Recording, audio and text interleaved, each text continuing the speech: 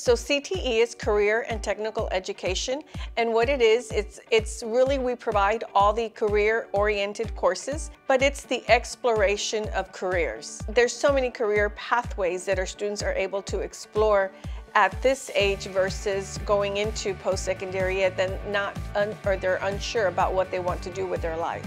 They are exposed to uh, acquiring the skills and taking the opportunity to take an exam during their high school coursework that will give them the opportunity to go straight into the workforce and uh, make a great living. We offer from courses in welding, cosmetology, instructional practices, health science, CNA, pharmacy tech.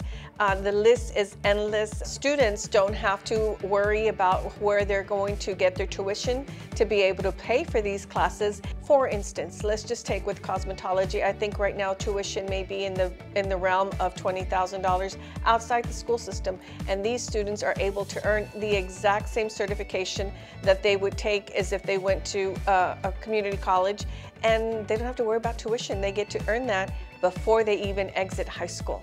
Many of our teachers have been here for a very long time, so they're very experienced, very knowledgeable, and very eager and excited about passing on those and teaching those skills to our current students. We are ecstatic about having a new building being constructed at this point, and then as well having two of our existing buildings be uh, remodeled, and that is when we are really going to expand to be able to offer courses that we don't have, such as HVAC, electrical, diesel mechanic, plumbing, a firefighter program, barbering, where there's so many different classes that we're going to add to what we currently have. The process has been long, but we're very anxious and very eager to be able to provide those other course offerings for our kids. Well, the first building, the expected completion date right now is December of this year. So we're very much looking forward to that first step. And then for the other two buildings will hopefully will be the upcoming school year after that. To our board, our superintendent, our executive committee,